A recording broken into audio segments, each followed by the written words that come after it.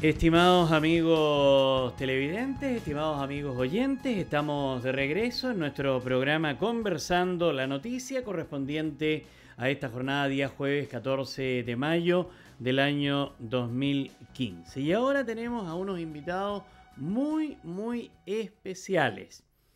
Claro, en este momento la verdad es que es grato para nosotros tenerlos indudablemente en nuestra mesa de trabajo acá en Polar, Polar Comunicaciones, pero generalmente cuando uno se contacta con ellos eh, habitualmente es porque ha habido alguna dificultad, ha habido alguna problemática, esencialmente de salud, ¿no? Eh, pero esta vez vienen afortunadamente a conversar con nosotros, por suerte, ¿no? Vienen a conversar eh, dos integrantes del Sistema de Atención Médica de Urgencia, SAMU, que están con nosotros a esta hora de la noche. Les vamos a dar la bienvenida a estos jóvenes. Marcos Aguilar, kinesiólogo reanimador, que está esta noche en Polar. ¿Cómo le va, Marco? Muy bien, gracias por la invitación. Muy bienvenido a nuestro programa. ¿eh? Y don Pablo González, técnico paramédico, eh, que también está a esta hora eh, con nosotros. ¿Cómo estás, Pablo? Muy bien, gracias. Gracias igual nuevamente por la invitación. Muchas gracias a ustedes por eh, venir a nuestro programa. Vienen con su uniforme y con la chaqueta que les identifica como integrante del SAMU. Eh, no están de turno hasta ahora. No, venimos saliendo de turno. ah, las ese, 20. ese es un buen dato, por ejemplo, partamos por ahí. ¿Qué implica, Marco, un turno de ustedes en el SAMU? ¿Cómo comienza? ¿A qué hora? Nosotros comenzamos un rol de cuarto turno que que se comienza a las 8 de la mañana, ¿ya? Son turnos de 12 horas, de 8 de la mañana hasta las 20 de la noche, ¿ya? Eh, posterior a eso, eh, tenemos el día libre el otro día, entramos a trabajar en la noche, a las 20, 20 eh, horas y salimos a las 8 de la mañana del siguiente día.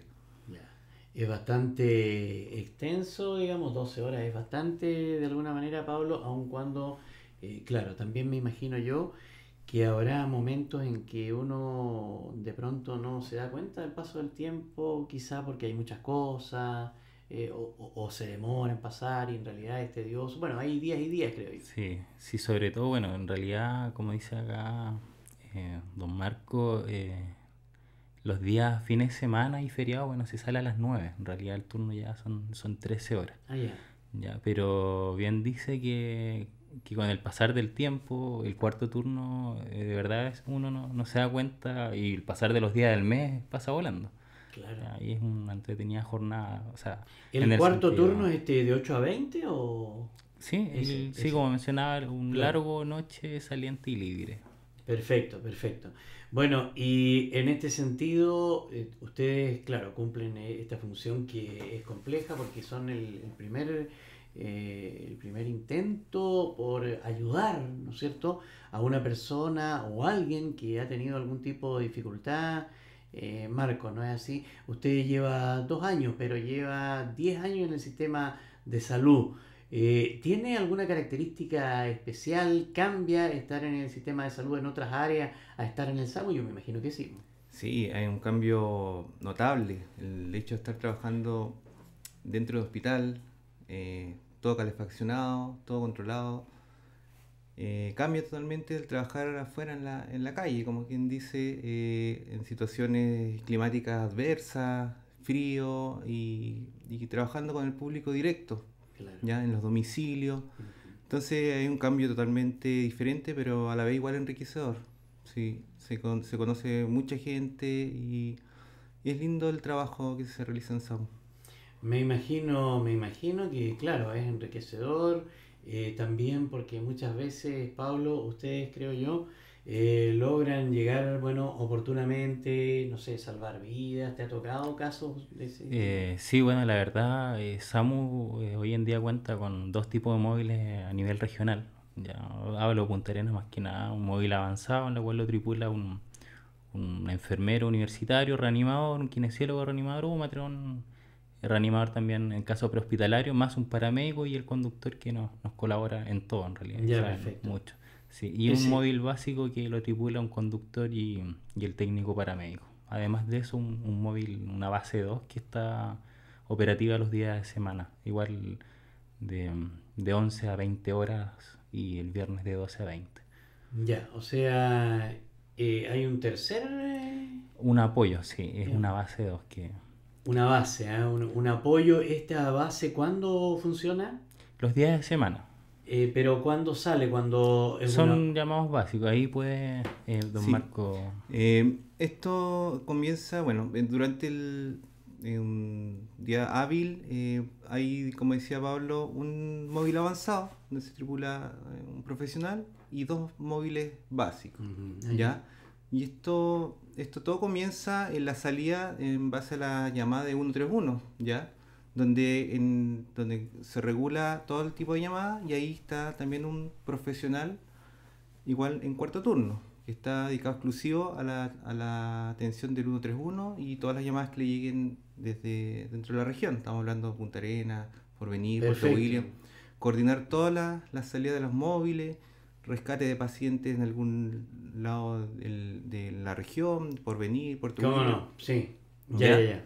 Entonces él va administrando el, el ambulancia en base a criterios, a, a gravedad, si es algo grave, ser un móvil avanzado, si es no tan grave, móvil básico, y ahí se van turnando, un- hay un- como un turno eh, dentro del mismo turno, se van turnando los móviles Lógico. básicos.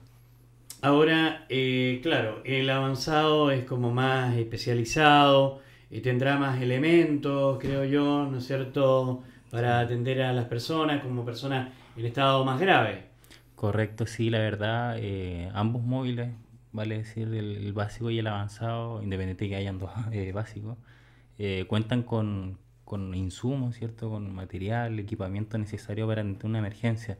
Y obviamente el, el personal también cuenta con todos los conocimientos necesarios para, para tales eventos, tales Correcto. situaciones e, e incidentes. Entonces, ¿cuál es la diferencia entre el avanzado y el básico? Solamente la tripulación, que tripula un profesional en el avanzado. Ah, ya, ya, ya. Solamente esa pasa a ser la diferencia. Y, que hay un- y el, y el mon- y un monitor que manejamos nosotros que que es un monitor más avanzado. Ah, ya, ya, ya. Yo creo que tiene que haber algo. Sí, exclusividad Ah, del Sí, móvil. sí. ¿Y ese monitor qué cosa? Es un monitor desfibrilador, ¿ya? Que, el cual eh, entrega una información donde uno describe, supongamos, un trazado y ve qué ritmo, por ejemplo, cardíaco tiene. Ya, ya. ¿ya? A diferencia del móvil básico que tiene un desfibrilador externo automático que, que es para funciones un poco más básicas, ¿ya? Eso y como decía Pablo, la tripulación donde va un profesional del móvil avanzado. Correcto. Ahora, eh, me quedó dando vuelta una- unas cosas. Eh, allí cuando llaman al 131, ¿no es cierto? Sí. Llaman la- dijiste de toda la región. ¿De toda la región? Eh, en el 131 acá se, eh, se focaliza en Punta Arenas, ¿ya? Pero nosotros tenemos otros números internos donde, por ejemplo, se realizan aerovacaciones desde Puerto William, Porvenir, Natales. Entonces uno igual hace la, el, el centro regulador hace las coordinaciones para que el paciente se traslade en forma óptima y oportuna al hospital clínico. Claro. ¿ya? Eso igual se, es el trabajo del centro regulador. Cuando hay traslados, Traslados. Correcto. Sí. Aerovacaciones, ese tipo de aspecto. Eh, lo cual significa entonces que si alguien llama de porvenir, no va- le va a servir el 131 que está en su casa en Mm, porvenir. no, No, tiene no. que ir al hospital porque allá me Sí, imagino yo que el no hay. porvenir tiene que llamarlo al tribuno y está eh, focalizado a su comuna. Correcto, correcto, correcto. Sí. Pero ahí no hay SAMU. Ahí eh, tengo entendido que en, Me parece que no. Me parece que En no. porvenir sí, porvenir Ah, sí, Sí, hay porvenir sí y O sea, hay ambulancias especializadas sí. con el personal Ah, ya, capacitado. Pero con, regional. con la salvedad que, que el único móvil avanzado está acá en, en Punta Arenas, que, el, que un solo móvil avanzado en Magallanes se podría decir. Perfectamente. O sea que en Natales también hay, ¿no Sí, sé? pero móviles básicos, claro. Perfecto. Me llama el 131 y va a un móvil Claro. Que eran antes llamadas las ambulancias. Las ambulancias, no sé si siguen funcionando las ambulancias.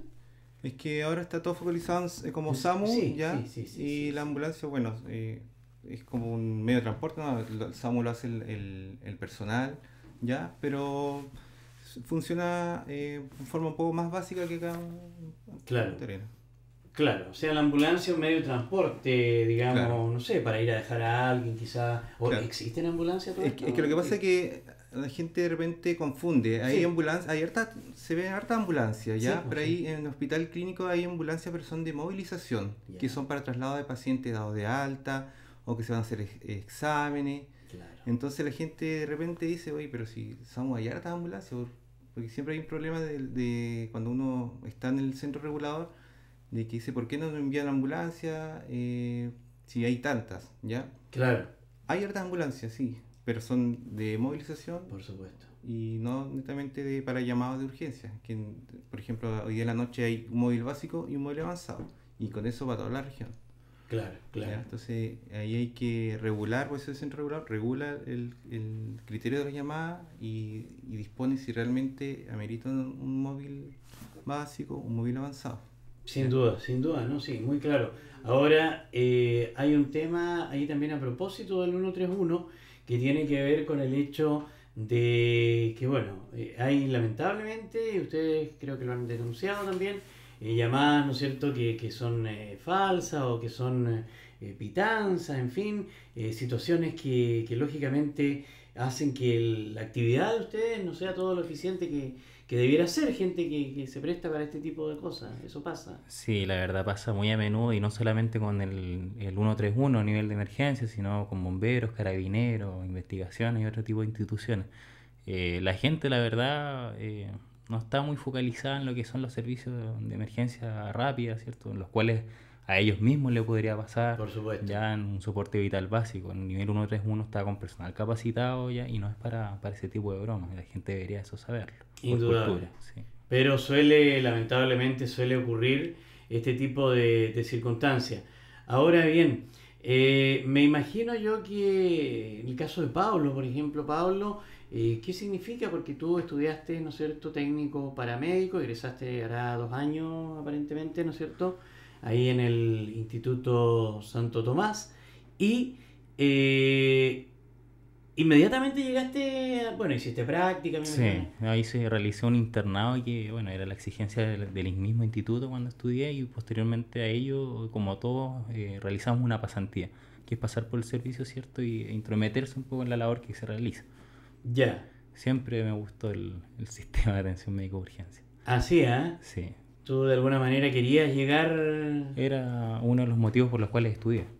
Ah, qué bien, qué bien. Y, y cuéntame una cosa, eh, porque mucha gente puede que intente o trate o quiera llegar, pero hay una dotación también, creo yo, limitada, no puede entrar.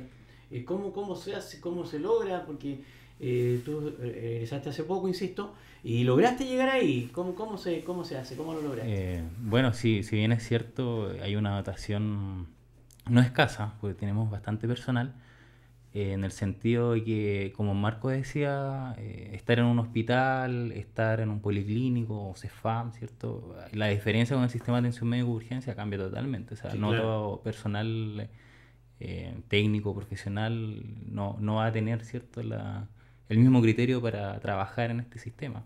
Ya, eh, hay que estudiar mucho, una dedicación bastante eh, profunda, es un trabajo de perfección continua. Ya, y eso eh, todo el personal lo, lo tiene muy claro y, y lo, y lo hace, lo va a conocer con todos estos procedimientos que realizamos, que gracias a Dios lo realizamos bien. Desde luego. De todas maneras, ¿cómo llegaste? ¿Cómo entraste a SAMU? Porque... Como le bueno, la verdad yo soy bombero igual. Bombero. Sí, ¿Ya? siempre muy pequeño llamó la atención y como mencionaba anteriormente, siempre me gustó cuando era muy pequeño el tema de las ambulancias. Miento. Cuando yo era chico me daban miedo los bomberos y las ambulancias. Cambió un- muy drástico, más que nada porque me sorprende el, el trabajo que realizaba el personal de salud en, áreas determinadas. Sí, claro, Y claro. con las condiciones climáticas adversas que en realidad eh, me saco el sombrero siempre por el personal. Muy bien. Eh, Le voy a hacer a usted la pregunta. Cuando alguien quiere entrar al SAMU, ¿postula al SAMU? ¿Lo llaman a que vaya al SAMU? ¿Cómo seleccionan al personal para que ingrese al Eh, SAMU?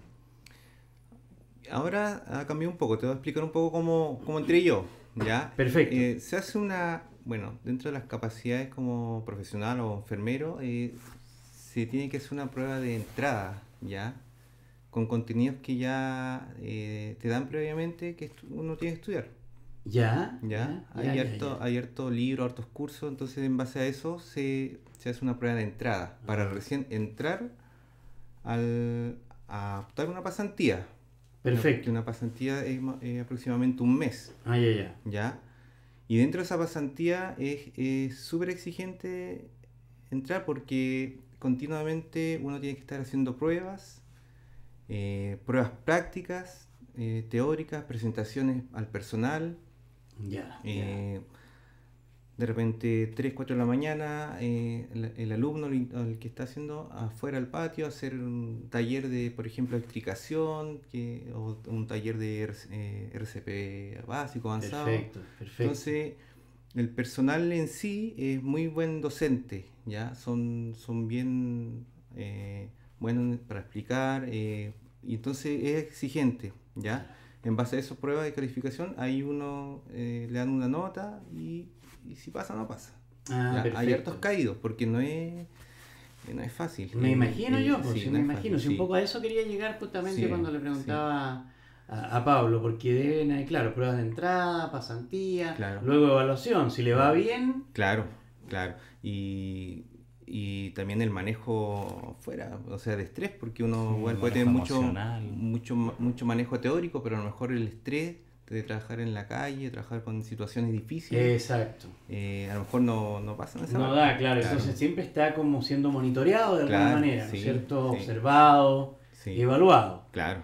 Y cuando ya da muestra de que cumple con todos Sí. estos requisitos, Claro, ahí tiene la, ahí queda como suplente en caso de, de, de un titular del cargo de vacación y licencia, uno puede ahí entrar a, a suplir ese, ese Eso es, claro. hasta que de repente salga un contrato y claro, se produzca el cupo El y cupo, entonces claro. puede, puede entrar. Eso era, ¿ves todo lo que te trataba de preguntar Sí, delante, entiendo. estimado eh, Pablo? ¿Y ¿Tú pasaste por estas cosas?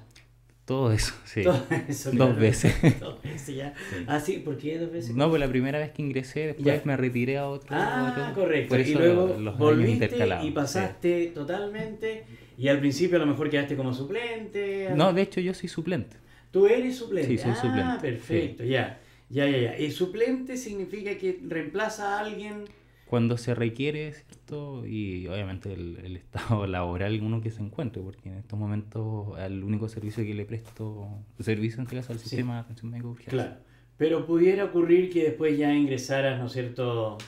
Sí, se podría dar esa posibilidad, más dos colegas más, que en realidad somos tres suplentes, Ah. que estamos eh, en periodo rotatorio, ¿cierto? Ya, ya. Y ahí vamos eh, agarrando el, el trabajo. Me parece, me parece. ¿Y qué te ha parecido este trabajo en general? Bueno, tú ya me explicas que no te gustaba, después te gustó, ¿no es cierto? Y, y ahora eh, te sientes satisfecho, es justamente entraste a estudiar porque esto es lo que querías, me decías un rato Sí. atrás. Eh, por consiguiente, ha llenado tu- tus expectativas, digamos. Eh, o sea, yo todavía no me siento autorrealizado, ya soy muy joven para ello, pero Por cierto. Eh, sí, como le mencionaba, es un trabajo de perfección continua, en lo cual el mismo personal a uno lo, lo- siempre lo motiva. Ya, Eh, si bien es cierto hay que tener una estabilidad emocional para todas las situaciones que atiende el SAMU, ya, eh, tanto en la calle como en domicilio, eh, hay que ser bastante duro y, y eso tampoco a uno bajonearlo. Del mismo modo, el mismo personal te da un apoyo, ¿cierto? Conversar estas situaciones, ya ser profesionales en el lugar. Ya, y bueno, a mí me, pare- me parece muy bien eh, todo este sistema. eh, mm, eh, soy muy autocrítico con, con las labores que se realizan y, Qué bien. y me gusta. De hecho, no creo que me... Ojalá perdure en el tiempo con, con este mm, Ojalá. trabajo. Sería muy, muy bueno. Ahora, eh, Marco, hay, eh, bueno, distintos tipos de casos, evidentemente. Vamos a entrar un poquito allá para como, nos quedan como 10 minutos, un poco menos, eh, a estas situaciones que a ustedes les toca vivir, porque ustedes, claro, van eh, a alguien que, no sé, eh, le pasó un accidente casero, por decir algo, o eh, en un momento determinado alguien que por razones de salud natural, de sus características, eh, también un ataque, ¿no es cierto? Algo por el estilo.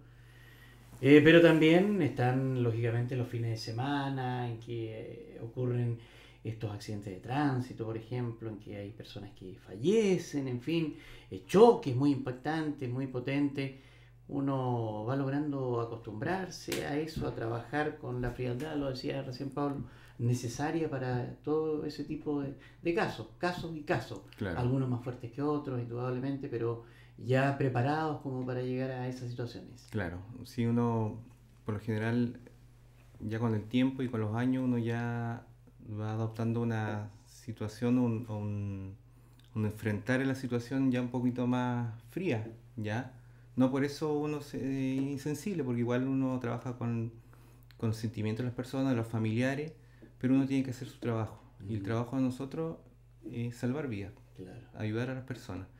Y nos toca de todo, nos toca de lo- algo muy leve, algo muy grave, donde uno tiene que manejar de repente con el paciente y al lado de la familia muy estado de estrés de shock, ¿ya? Pero ahí está el profesionalismo del- de todos los funcionarios SAMU que, que en realidad hacen una separación y hacen, tratan de hacer su trabajo lo mejor posible. Sí, ahora, como tú, quiero eh, colgar un poco el tema del accidente automovilístico, que hay muchos accidentes, muchos eh, jóvenes con ingesta de alcohol, que en realidad Magallanes, pasó en una ciudad tan, o sea, Punta Arenas tan chica, hay harto accidentes automovilísticos. Sí, Sí, mucho, mucho. mucho, Y todo por el consumo de, de alcohol. Exactamente. Que es algo triste, ¿no? Y que ha habido quienes han fallecido en los, Sí, últimos el último- meses, días, sí, semanas. semana, sí, Mm. fallecido.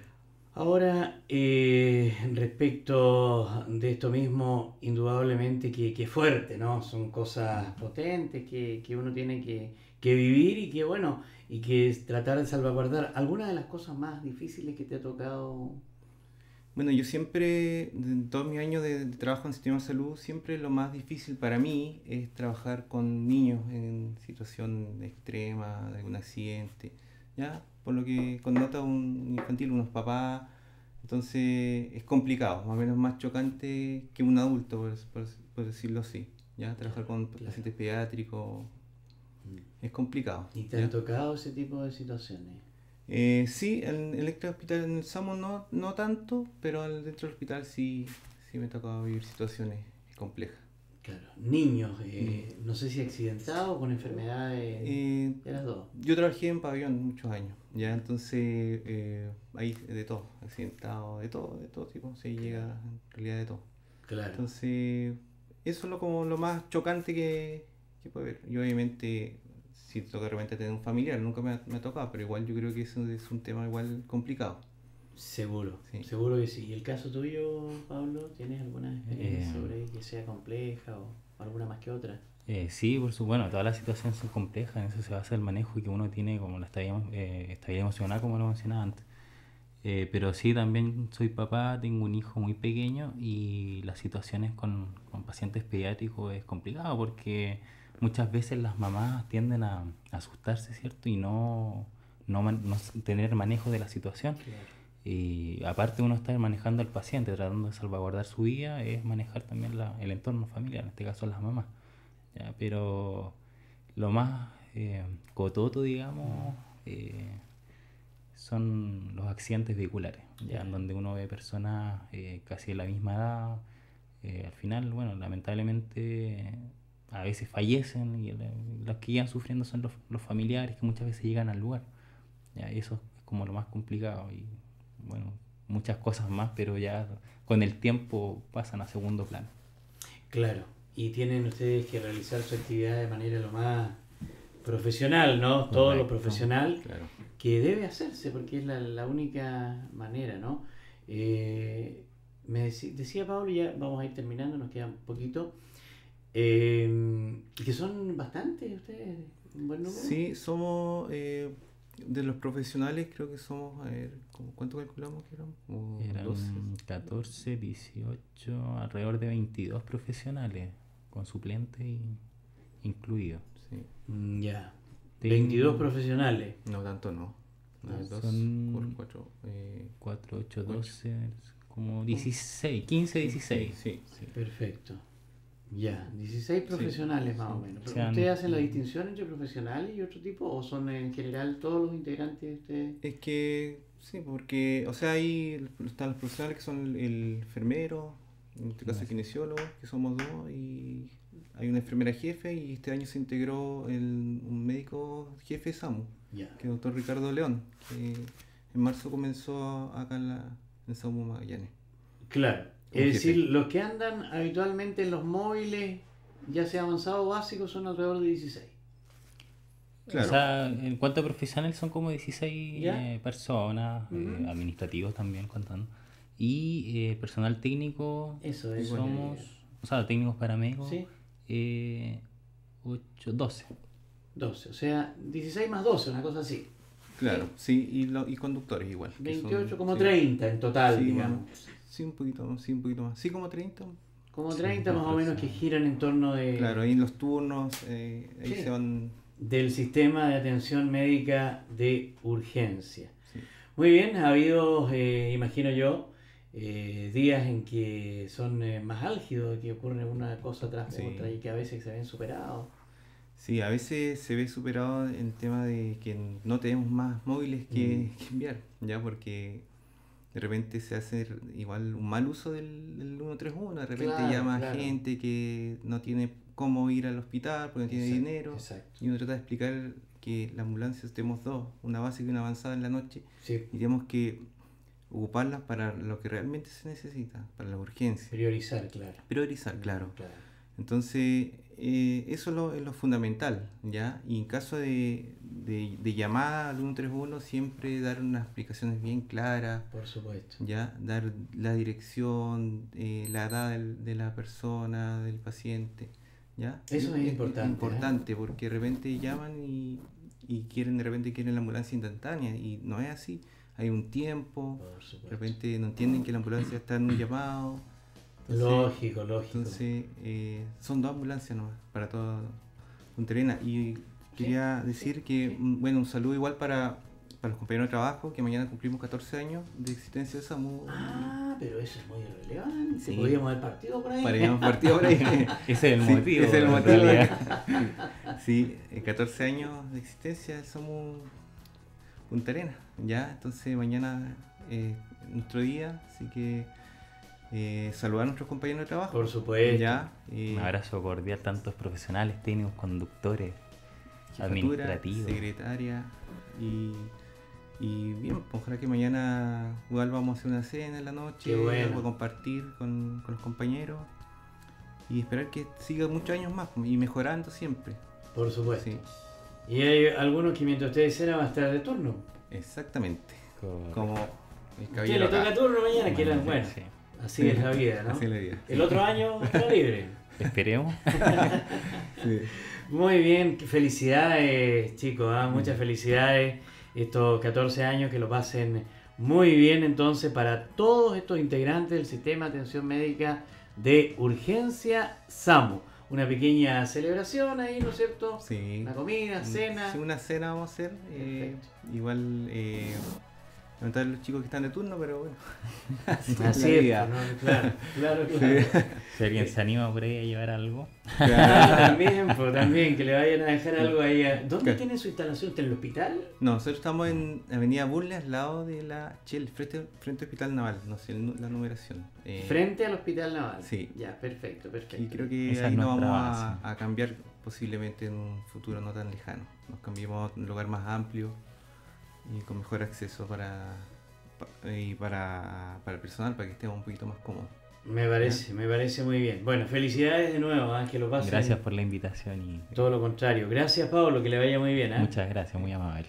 Y a usted también, don Marco. pues. Listo, igual para usted un millón gracias por, por invitarnos acá a Polar Ha estado muy interesante la conversación. Y eh, reiteramos entonces el saludo cordial para todos los técnicos paramédicos, profesionales del sistema de atención médica de urgencia, SAMU, que están de cumpleaños. Mañana entonces, 15 de mayo, cumplen 14 años de vida al servicio de la comunidad. Así que mañana no hay que llamar al SAMU. Por favor. Claro, va a haber gente de turno, así que no se preocupe. Si tiene una urgencia, ellos van a estar dispuestos para atenderlo.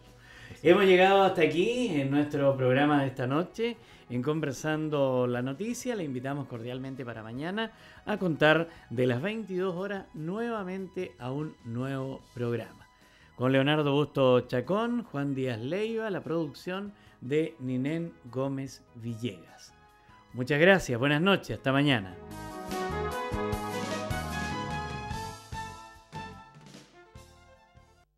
Son las 23 horas, 4 minutos.